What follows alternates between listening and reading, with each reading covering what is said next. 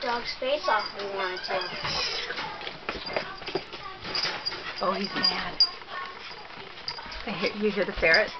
Oh yeah, Max our baby. I know. he's just trying. He's, He's trying to get away. he's ferocious. Mongo could get out of there anytime he wants, and he just wants to attack the Oh. dog. Get it, Magnus. Come on, squish that ferret. Oh, what did he do? He bit him in the duplex. Did I squish him? Ah! Oh, Finally. Give it up, little Mongo. Give it up. Oh, he's mad. ferocious. He says, I'll be back.